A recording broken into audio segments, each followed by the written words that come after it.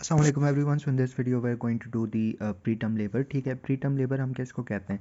जब हमारे पास 37 वीक से पहले ही हमारे पास लेबर आ जाए ठीक है? यूट्राइन कंट्रैक्शन वगैरह शुरू हो जाएँ ठीक है? और जो है हमें फीटल हेड जो है वो नज़र आना शुरू हो जाए और सर्वेक्स जो है वो डायलेट हो जाए और उसकी लेंथ वगैरह कम हो जाए तो उसको हम लोग जो है वो प्री टर्म लेबर बोलते हैं ठीक है? प्री टर्म लेबर की हमारे पास डिफरेंट जो है वो फैक्टर्स uh, होते हैं जो रिस्पॉन्सिबल होते हैं ठीक है? देखो सबसे पहले हमारे पास जो है वो मॉडिफाइबल फैक्टर्स होते हैं और नॉन मॉडिफाइबल फैक्टर्स होते हैं। मॉडिफाइबल में स्मोकिंग हो जाएगा, ठीक है? इसके अलावा ड्रग एब्यूज कोकेन वगैरह हो पी अगर ट्वेंटी से कम हो जाए, ठीक है? और फिर नॉन मॉडिफाइबल फैक्टर्स में हमारे पास पैरिटी आ जाती है black women and poor socio economic status ठीक है? इसके अलावा हमारे पास कोई मल्टीपल प्रेगनेंसी है या प्रीवियस हिस्ट्री है प्रीटर्म लेबर की, ठीक है? और हमारे पास सर्वाइकल कोई सर्जरी हुई हुई है या यूट्राइन जो है कोई एनॉमली है तो उसकी वजह से हमारे पास प्रीटर्म लेबर जो होता है, वो हो सकता है, ठीक है? अब इसके लिए ना हमारे पास एक डायग्नोस्टिक क्राइटेरिया है, ठीक है? अब डायग्नोस्टिक क्राइटेरिया में ना बेसिकली क्या होता है ना, देखो, सबसे पहले हमारे पास हम लोग देखते हैं गेस्टेशनल एज ठीक है? अब गेस्टेशनल एज मैंने आपको बता दी है कि 37 वीक से कम होगा, लेकिन पीरियड ऑफ़ वाइबिलिटी वो क्रॉस कर चुका हो मतलब 28 से लेकर, अगर हम पीरियड ऑफ़ वाइबिलिटी को 28 लेते हैं, ठीक है? सही है? से लेकर 37 वीक तक जो है हमारे पास अगर लेबर आ जाए, ठीक है तो उसको हम लोग कहेंगे प्री मेच्योर लेबर ठीक है? अच्छा प्री टर्म लेबर ठीक है? अच्छा अब इसके बाद ना हमारे पास इसमें यूट्राइन कंट्रैक्शंस भी होते हैं, ठीक है? यूट्राइन कंट्रैक्शंस ठीक है? अब कंट्रैक्शंस हमारे पास कितनी होनी चाहिए? फोर या फोर से ज़्यादा इन ट्वेंटी मिनट्स ठीक है? चार या चार से ज़्यादा इन ट्वेंटी मिनट्स या तो आप एट या एट से ज़्यादा इन सिक्स मिनट्स ठीक है? ये दो, दोनों में से एक चीज़ आप कंसिडर करोगे। फोर या फोर से ज़्यादा इन ट्वेंटी मिनट्स या एट और more than eight in six minutes ठीक है? फिर सर्वाइकल आप जो है वो चेंजेस देखो तो डायलिटेशन जो है ना, वो हमारे पास थ्री सेंटीमीटर से ज़्यादा होंगी, ठीक है? पर लेंथ देखोगे ना तो लेंथ आपके पास ट्वेंटी एम mm से कम आनी चाहिए, ठीक है? ट्वेंटी एम mm से ऑन ट्रांसवोजाइनल अल्ट्रासाउंड ठीक है? अब अगर हमारे पास ट्वेंटी टू थर्टी एम के बीच में आ रही है तो फिर उसके बाद हम लोग फाइब्रोनेक्टिन का लेवल देखते हैं, ठीक है? फाइब्रोनेक्टिन ठीक है? अब फाइब्रोनेक्टिन अगर पॉजिटिव आ रहा है तो मतलब कि हाँ प्रीटम लेबर आ चुका है, ठीक है? अब इन्वेस्टिगेशन पे आ जाओ। इन्वेस्टिगेशन में ना हम लोगों ने बेसिकली देखो, सबसे पहले हम लोगों ने ट्रांसफोजैनल अल्ट्रासाउंड किया ट्रांसफोजैनल अल्ट्रासाउंड, ठीक है? उसमें हम लोगों ने क्या किया? लेंथ देखी है, ठीक है? लेंथ ऑफ़ सर्विक्स ठीक है? सर्विक्स की लेंथ देखिए, वो हमारे पास 20 जो एम mm है, उससे कम होनी चाहिए, ठीक है? अगर वो 20 एम mm से ज़्यादा आ रही है 20 टू 30 तक आ रही है, ठीक है? तो फिर आपने फाइब्रोनेक्टिन का लेवल देखना है, ठीक है? अगर वो पॉजिटिव है तो हम लोग कहते हैं हाँ प्रीटम लेबर आ चुका है, ठीक है? इसके अलावा हम लोग जो है ना, वो देखते हैं इसके बाद अलावा हम लोग थर्ड चीज़ जो देखते हैं वो कंट्रैक्शंस को देखते हैं ना। तो कंट्रैक्शंस को देखने के लिए हम लोग एक टेक्निक होती है जिसको हम कहते हैं एक्सटर्नल टोकोडायनेकोमेट्री ठीक है? एक्सटर्नल टोकोडायनेकोमेट्री वो हम करते हैं, ठीक है? और फिर हार्ट हार्ट रेट वगैरह को भी देख लेते हैं फीटस के, ठीक है? जिसके लिए हम लोग सीटीजी करते हैं कार्डियोटोकोग्राफी वगैरह, ठीक है? अच्छा। फिर इसकी ट्रीटमेंट पे आ जाओ, ठीक है?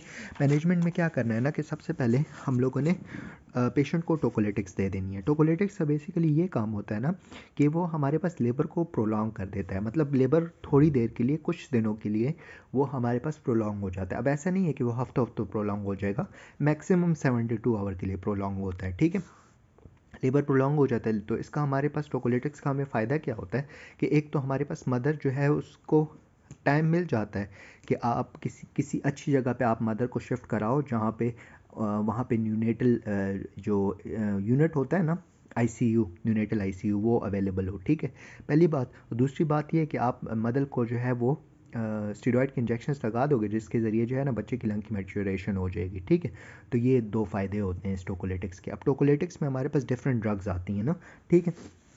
देखो, वो मैं आपको यहाँ से बता देता हूँ। देखो, इसमें दो ड्रग्स होती हैं जो हम कंट्रैक्शन को यूट्राइन कंट्रैक्शन को स्टॉप करने के लिए देते हैं, जिसमें हमारे पास कैल्शियम चैनल ब्लॉकर होता है मैग्नीशियम सल्फेट होती है, ठीक है? एक ड्रग जो होती है, वो रिलैक्सेशन के लिए देते हैं, जो बीटा टू बीटा एगोनिस्ट है, ठीक है? और दो और ड्रग्स हैं। एक हमारे पास है ऑक्सीटोसिन रिसेप्टर एंटेगोनिस्ट और एक है प्रोस्टाग्लैंडिन सेंथेसिस इनहिबिटर ये दोनों ड्रग्स जो होती हैं ये हमारे पास आ, ये भी टोकोलेटिक्स ही हैं ठीक है?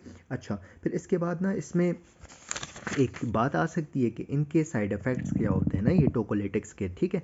अब देखो, अगर आप मैग्नीशियम सल्फेट की बात करो ना तो ये हमारे पास रिस्पायरेटरी डिप्रेशन कॉज कर सकता है, ठीक है? और हमारे पास पल्मोनरी एडेमा कॉज कर सकता है, ठीक है? अच्छा फिर बीटा एगोनिस्ट की बात करो या कैल्शियम ब्लॉकर्स की बात करो तो वो हमारे पास जो है वो रिस्पायरेटरी डिस्ट्रेस नेक्रोटाइजिंग इंटेरोकोलाइटिस और इंट्रावेंटिकुलर हेमोरेज कॉज कर सकते हैं, ठीक है? दोनों, ठीक है? फिर जो हमारे पास प्रोस्टाग्लैंडिन्स है ना इंडोमेथासिन वगैरह, वो हमारे पास डक्टस आर्ट्रियोसिस की क्लोजर करते हैं। तो बर्थ से पहले तो हमें नहीं चाहिए होता, ठीक है? तो जिसकी वजह से पेशेंट जो है वो पल्मनी एडेमा में जाएगा और मर जाएगा, ठीक है? So we don't want that ठीक है? इसके अलावा हमारे पास ये जो ऑक्सीटोसिन रिसेप्टर वाला होता है, ये भी रिस्पायरेटरी डिस्ट्रेस और नेक्रोटाइजिंग इंटेरोकोलाइटिस और आई इंट्रावेंटिकुलर हेमरेज कॉज करता है, लेकिन बड़ा माइन्यूट टाइप कॉज करता है, ठीक है? अच्छा जी। ये आपने टोकोलेटिक्स दे दी, फिर उसके बाद आप स्टेरॉइड्स देते हो। स्टेरॉइड में आपका बैक्लोमेथासोन आ जाता है और डेक्सामेथासोन आ जाता है, ठीक है? इसकी हमारे पास दो डोजेज होती हैं विच वी गिव तकरीबन twelve to twenty four hour apart ठीक है? अच्छा लास्ट में हम लोग एंटीबायोटिक्स देते हैं, लेकिन एंटीबायोटिक्स हम उसी केस में देते हैं, जब हमारे पास जो है वो कोई इन्फेक्शन हो, ठीक है? अगर हमारे पास मेम्ब्रेन रप्चर हो गई तो ऑब्वियसली तब इन्फेक्शन होगा डीआईसी वगैरह डेवलप होगा सेप्सिस वगैरह हो सकती है, ठीक है? तो इन दैट केस हम लोग देते हैं, लेकिन अगर मेम्ब्रेन इंटैक्ट है so there is no need to give the antibiotics ठीक है? अब प्रिवेंशन की अगर हम बात करें प्रिवेंशन हम कैसे बचाते हैं प्रीटर्म लेबर को होने से, ठीक है? अगर एक फ़ीमेल है जो आपके पास आती है जिसकी प्रीवियस हिस्ट्री थी प्री टर्म लेबर्स की, ठीक है तो उसको आपने सर्वाइकल सर्कलाज कर देना है। वो बेसिकली क्या होता है कि हम सर्विक्स को बाँध देते बेसिकली स्टिचेस लगा देते हैं उस पर ठीक है। अब सर्विस में जब स्टिचेस लग जाते हैं तो ऑब्वियसली वो डायलेट नहीं होता डायलेट नहीं होता तो अल्टीमेटली बच्चा जो है वो प्री टर्म लेबर में नहीं जाता, ठीक है मदर सही है? इसके अलावा हम लोग प्रोजेस्टेरोन भी दे देते हैं तो उससे भी फ़ायदा होता है। प्रोजेस्टेरोन में मेनली हमारे पास जो ड्रग है ना वो हम लोग आईएम देते हैं, ठीक है? वो है हाइड्रोक्सी प्रोजेस्टेरोन कैप्रो एट ठीक है? हाइड्रोक्सी प्रोजेस्टेरोन कैप्रो एट ठीक है?